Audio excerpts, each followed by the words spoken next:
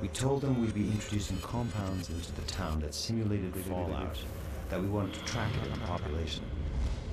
Harmless stuff. This was the cover story? One of them. It made it easy to take samples and run tests.